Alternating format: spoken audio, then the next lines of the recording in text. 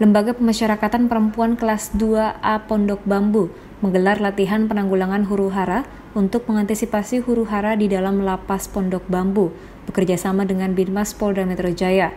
Latihan ini digelar pada Kamis pagi. Pelatihan ini dalam rangka meningkatkan kewaspadaan terhadap gangguan keamanan dan ketertiban.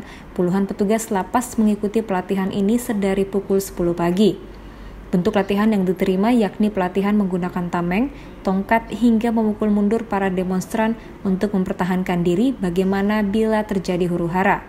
Kalapas Pondok Bambu Herlina mengatakan hal tersebut adalah salah satu bentuk pelatihan penanggulangan huru hara yang harus dilakukan kepada seluruh pegawai karena seluruh jajaran lapas perempuan adalah petugas keamanan. Otomatis pelatihan-pelatihan semacam ini harus diberikan kepada seluruh jajarannya. Pelatihan ini dilakukan sebagai deteksi dini dan antisipasi untuk menghadapi hal-hal yang mungkin saja terjadi karena menjadikan salah satu tugas dan tanggung jawab petugas dalam menangani seluruh warga binaan di lapas perempuan kelas 2A.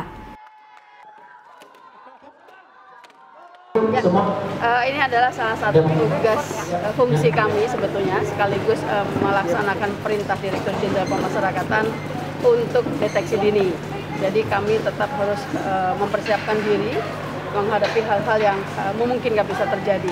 Ini adalah ya, salah satu bentuk pelatihan penanggulangan huru hara uh, yang harus kami latihkan kepada seluruh uh, pegawai. Ya, Karena kami adalah seluruh jajaran lapas perempuan adalah ya, tugas pengamanan. Otomatis pelatihan-pelatihan uh, semacam ini harus kami berikan kepada seluruh jajaran kami. Dari Jakarta, tim liputan melaporkan.